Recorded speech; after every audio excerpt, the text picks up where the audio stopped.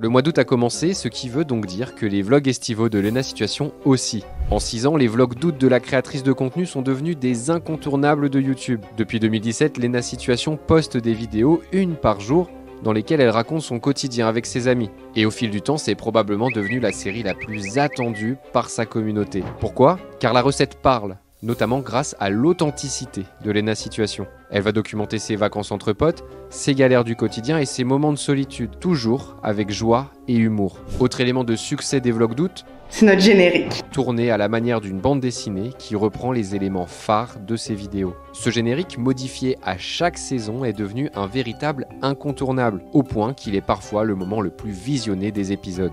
La saison 7 des vlogs d'août de Lena Situation commence dès maintenant, avec l'ouverture d'un pop-up store le 3 août. Et pour l'occasion, la créatrice s'est même offert une campagne d'affichage dans Paris.